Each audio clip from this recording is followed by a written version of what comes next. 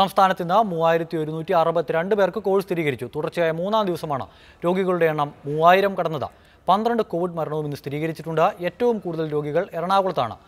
തൊള്ളായിരത്തി നാൽപ്പത്തി ഒൻപത് പേർ. തിരുവനന്തപുരത്ത് അഞ്ഞൂറ്റി അൻപത്തി അഞ്ച് പേർക്കും കോട്ടയത്ത് മുന്നൂറ്റി അൻപത്തി ആറ് പേർക്കും കോവിഡ് സ്ഥിരീകരിച്ചു.